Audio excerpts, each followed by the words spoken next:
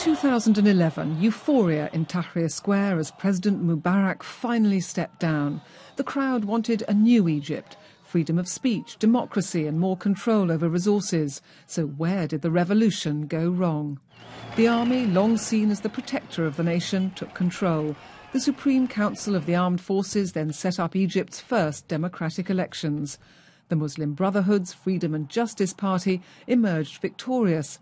Its supporters were ecstatic after decades in the political wilderness. Then, in June last year, their candidate, Mohamed Morsi, was voted president. He soon clashed with the army over its role in politics. The new president promised Egypt a facelift in a hundred days. The country had deep and long standing problems high unemployment, a growing economic crisis, and lack of the rule of law. Now, a year later, many Egyptians complain that life has only got worse. And as the summer heats up, patience with the government has run out. Defenders of President Morsi say he's come up against too many old vested interests.